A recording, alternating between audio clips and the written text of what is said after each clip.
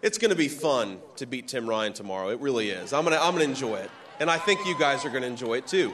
Speaking to a crowd of supporters in Dayton Monday night, Republican U.S. Senate candidate J.D. Vance gives a last minute pitch just before former President Donald Trump arrives in southern Ohio for a rally to support him. Now, I think we're going to win. I think we're going to win a big victory, ladies and gentlemen. We're going to have a red wave all across this country, and you all are going to make it happen. Vance told the crowd he wants to, quote, take back the country.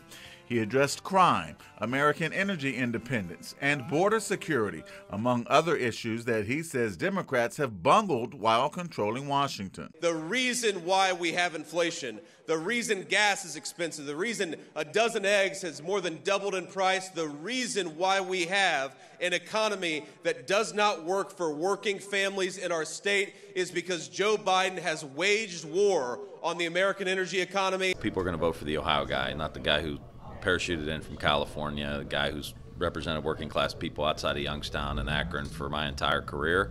And we don't need another millionaire in the Senate, you know, not funded by billionaires. We caught up with Democratic Congressman Tim Ryan at a meet and greet in Cleveland Monday morning, supported by Cleveland City Council President Blaine Griffin. I feel great. I feel we got momentum all over the state. We've got a ton of Republican crossover. The Democratic base is very energized. We want to represent everybody. Ryan, the Democratic U.S. Senate nominee, told the group that was gathered that he wants to take the hate and fear out of politics and add more compassion. We've got to take the temperature down in Washington. We've got to remember that we're Americans first, and, and then let's figure out how we solve these really big you know, structural problems that we have in the country. I want to be a part of that solution. Kevin Freeman, Fox 8 News.